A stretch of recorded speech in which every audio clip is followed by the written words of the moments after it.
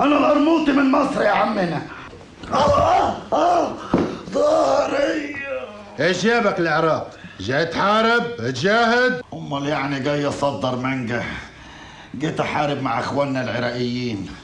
نزلت الشوارع لقيت شوية منهم عمالين بيحضنوا في الأمريكان. اتلخبطت.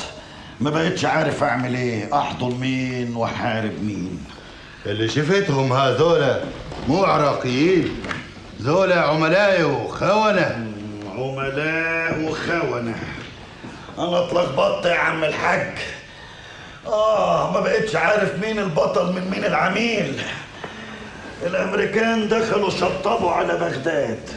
يا خسرت الصورة اللي أنا معلقها لك في القهوة صدام. ده أنا معلق له صورة مبروزها برواز لوحة كونتر كده أبلكاش عاشق ومعشوق مكلفاني 8 جنيه ونص. حسبي الله حر ونار في جتتك حد يسيب بلده ويخلع في الظروف السوداء اللي زي دي؟ سمعنا عن جيوش بتستسلم جيوش بتتهزم إنما جيش تقوم الصبح ما تلاقيهوش هو ورئيسه.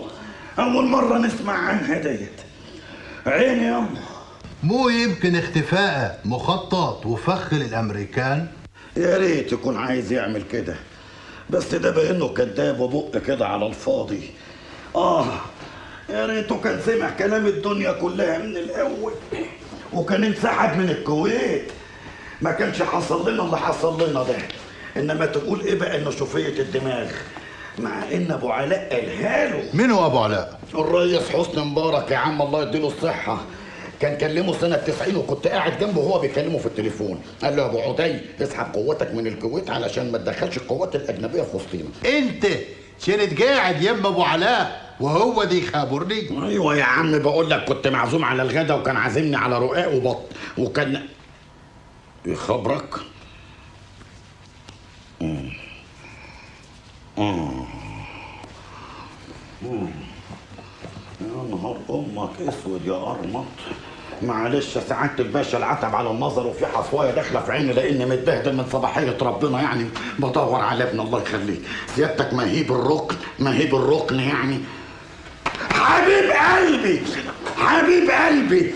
قاعد مستخبي بالتكتيك للأمريكان يا معلم صح؟ أنا قلت مش أنا لما وقعت قلت لسيادتك كده قلت تلاقي صدام مختفي بالتكتيك للأمريكان عشان يطلع يفاجئهم ويولعهم. هتولع يا باشا.